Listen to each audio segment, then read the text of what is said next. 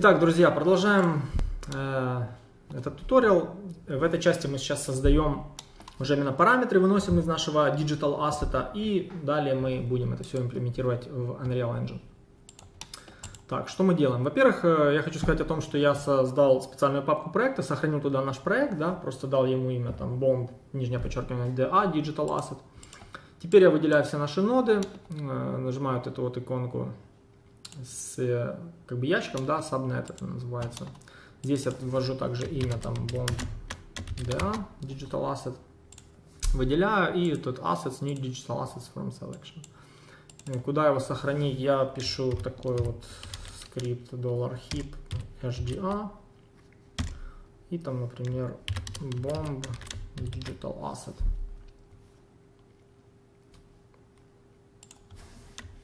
Пускай такое будет имя.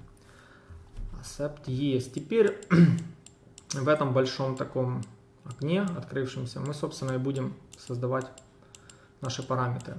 Мы укажем, что это, допустим, там версия 1.0 мы можем тут оформить help, допустим, и дизайнер, для которого мы создали эту тулзу, э, кто, кто создает уровни, кто создает просто ассеты, кто наполняет ассетами да, уровни, он сможет просто открыть этот help, может прочитать от вас какую-то информацию. Ну,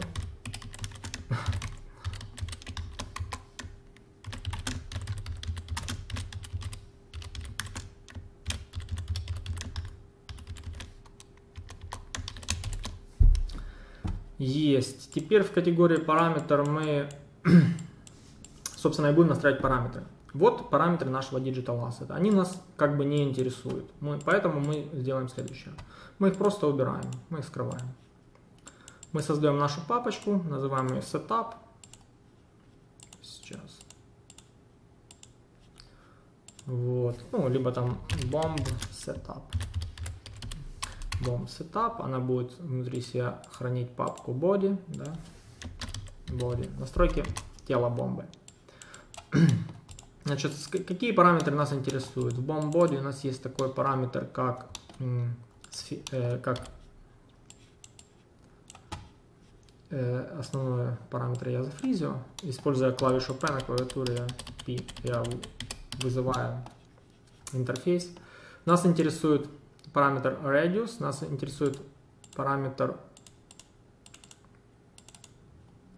э, frequency и, собственно, все. Ну, еще из этой группы нас интересует э, norm cusp angle. То есть мы находим эти параметры from nodes, bomb digital asset, bomb body, э, сфера, э, radius. вот эти параметры мы их передаем таким вот образом тип float vector 3, имя будет такое, имя переменная red.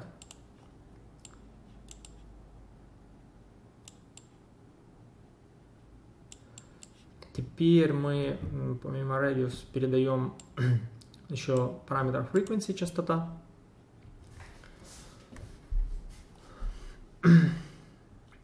Находим параметр, передаем. Теперь мы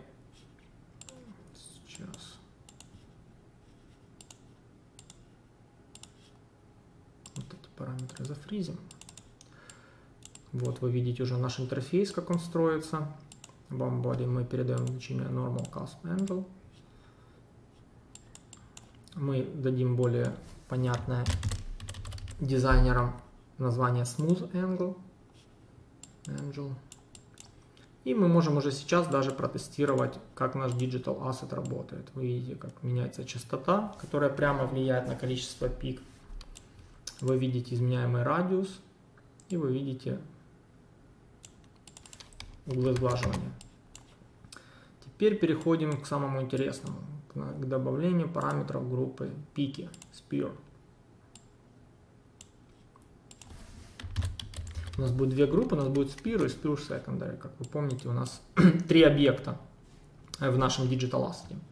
Также from nodes мы переходим в bomb Spear и здесь мы уже обнаруживаем такие параметры.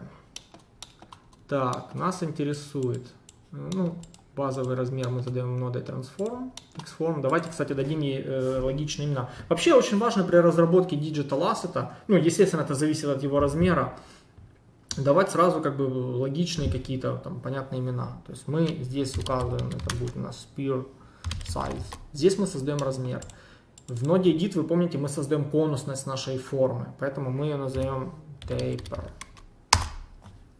Далее мы э, в ноде polyextrude просто вытягиваем полигон, тут в принципе все понятно.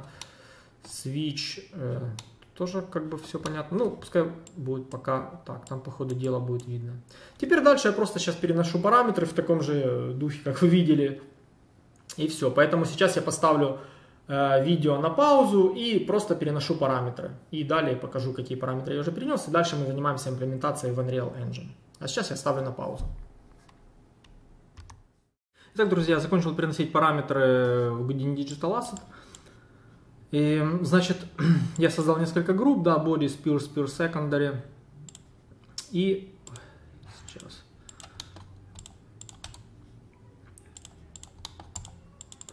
Вы всегда можете, да, по дефолту, после того, когда вы закончите редактировать э, ваш digital asset, вы можете всегда вернуться как бы его, к его повторному редактированию. Allow addition of contents да, это разрешает как бы редактировать. И здесь э, я, кстати, пофиксил такую вот деталь. Э, так как у нас в ноду Spear Secondary передавались только дублированные пики, а они передавались сферические, это довольно быстро пофиксилось. Я просто создал отдельно группу, в которую поместил э, сферу, и дал этой группе такое же имя, которое находится в ноде delete, да, то есть дал точно такое имя группы, чтобы это имя совпадало с именем э, группы, создаваемой нодой duplicate. То есть это... И таким образом как бы она наследуется. Так. Сейчас здесь у нас обязательно выход здесь. То есть давайте теперь посмотрим на Digital Asset. Я это все сохраняю. Definition.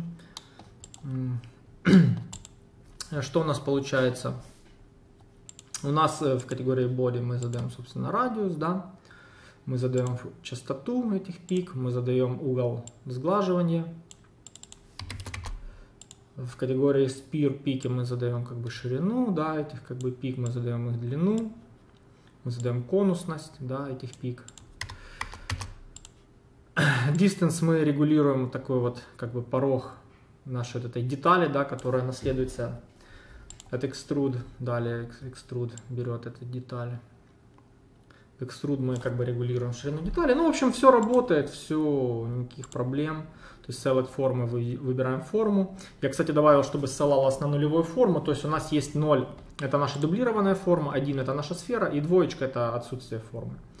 Ну и, соответственно, естественно, это можно э, это все дело двигать. Нашу именно единичку 0 мы можем как бы двигать наши пики. Они имеют ширину, да, также. То есть все работает. Теперь давайте, и если мы перешли в группу сфера, то здесь вот через такое двойное подчеркивание сделал, вы можете регулировать количество как бы полигонов, да, насколько она может быть сглажена, ваша сфера, ну и, собственно, радиус. То есть прикольно сделать эту сферу такими светящимися каким-то шейдером в Unreal. Так, ладно. Э, теперь э, давайте перейдем в Unreal Engine. То есть что мы сейчас делаем? У нас есть э, полноценный Houdini Digital Asset, который полностью сохраненный, да. То есть он у нас э, находится в папке, в, мо в моей папке проекта, в папочке HDA. Есть вот он, BAMD.A, BOMDA, digitalasset.hda. Теперь давайте перейдем к Unreal Engine и посмотрим, как э, добавляется Houdini Engine, имплементируется в Unreal Engine и, собственно, загрузим наш Digital Asset и протестируем его внутри движка Unreal Engine.